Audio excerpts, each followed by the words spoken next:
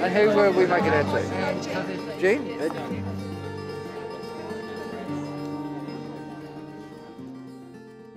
Rod has also written a comedy guide entitled The Wonderful World of Climate Change, which uses words and images to help people understand causes and effects and what they can do to help. We're going to do some science, Ben. We're going to do some history, some science. And to do that, before the universe began, there was nothing. So, Ben, I need you to get down on your little tippy toes and to do a little ball of nothing, Ben. Okay, here we go.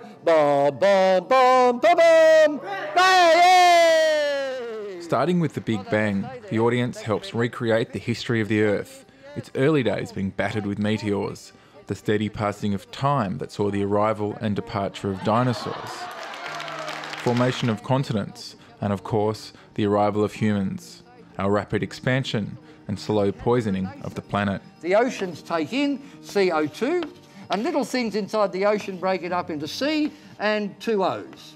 There's another O. And some of the O's stay in the ocean and some of the O's go into the air. But now there's so much CO2 in the oceans, they can no longer absorb it, so it's turning into acid. We're getting carbolic acid in the ocean, which is dissolving the smallest of our pl- uh, planktony uh, photosynthetic thing, thing, things in a tiny little thing, which are disappearing. And other life forms depend on that. And the oceans are dying. The Great Barrier Reef will be dead by 2030. There goes the Queensland tourism industry. And once that collapses, all those Victorians who left during the Kennett years will want to come back. And I say to them, no. We stuck Kennett out. You didn't. You can't get in. So we built a wall to keep the Queenslanders out. I try and send them away hopeful. I mean, there's no point saying it, it is hopeless.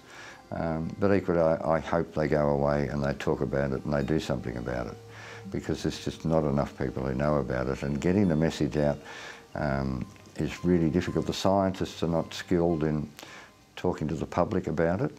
Um, and equally journalists aren't skilled in interpreting the science.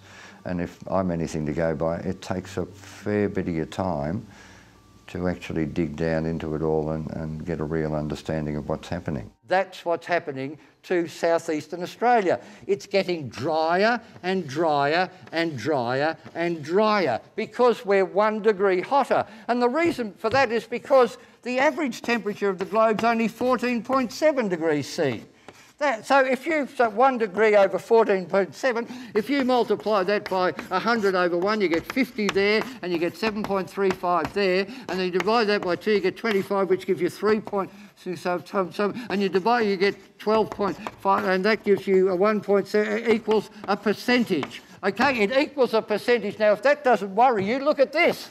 100 over 1 times 220 gives you 50. Divide that by which gives you 1, carry the 1 as 18, 155, and you divide that by 20, and it equals another percentage. Now, if you're not worried, consider that in less than a minute, two percentages. This is serious, okay? We are now getting to the stage. But it's not just the audience's ability to handle such disturbing subject matter that is an issue. For people like Rod, who have chosen to face and warn others about the realities of climate change, the emotional toll on them can be great. It has been really, really hard to do this show about climate change because once you understand what's happening, you go through, you, go, you literally go through the stages of grieving. Like a, a, year or so ago, I did a show about this, or half a show about climate change, and I went home after that show every night depressed. I mean, deeply, deeply depressed. And I thought every night, that can't be, it can't be happening. It just can't be happening. So every night I go home, I get onto the NASA website and the Hadley Centre and the Potsdam Institute and the Woods Hole Centre and I do all this research into it and I learn about the carbon cycle and methane and uh, all the things that go into climate. And every night I'd go away and I think, well, yes, it is happening. So I'd go back and I'd try and make it funny the next night and I'd get depressed about it and the audience, would, oh, it was just hell. So it's, yeah, as I said, it's, I think it, it is the only thing worth talking about at any level in society now. And what we stand to lose is we stand to lose everything. The Himalayas, the great ice caps of the Himalayas, 80% melted or in the process of melting within 30 years. They supply the water to the Mekong, to the Yangtze, um, to the Indus, to the Ganges, to the Brahmaputra. All the great rivers of Asia are fed from the Himalayas and they're melting. They're melting and the water's going to run out and three billion people will have no food and no water. And what do we go? I mean, I would take them in, but I've got a country person.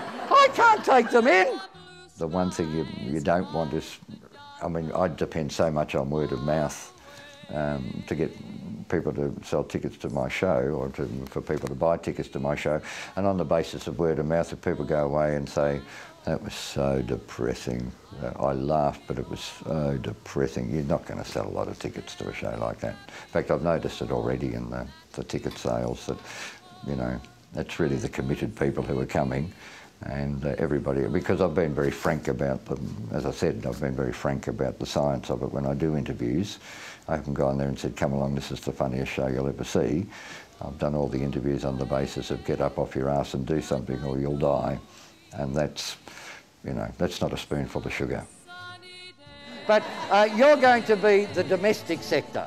Okay, Mr and Mrs Average Australian, in your little suburban home with your electricity and your gas, uh, you're the uh, industrial transport sector and you're the agricultural sector, okay? Um, now, you're the uh, domestic sector. All the ads on telly are aimed at you, are they not? Every ad about climate change is about him. I can't not do nothing. Um, it is very tempting to say to people, look, just eat, drink and be merry and just have a really great time and you know at some stage it's going to stop but before it stops you'll you'll just have so much fun.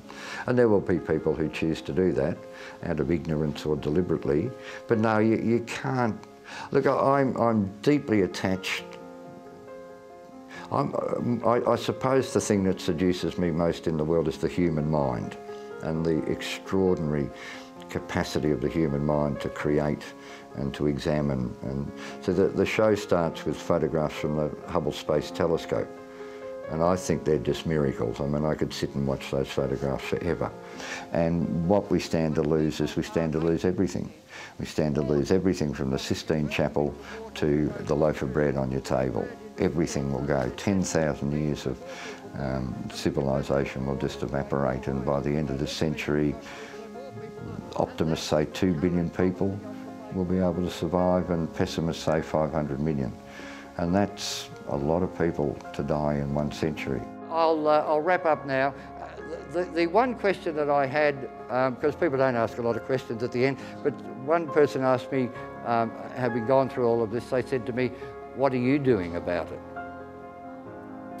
And I said, well, my job is to stand on stage in front of groups of people and go, do something for Christ's sake, do something.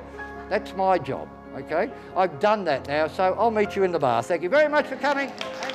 No, I'm, I'm just really committed to it.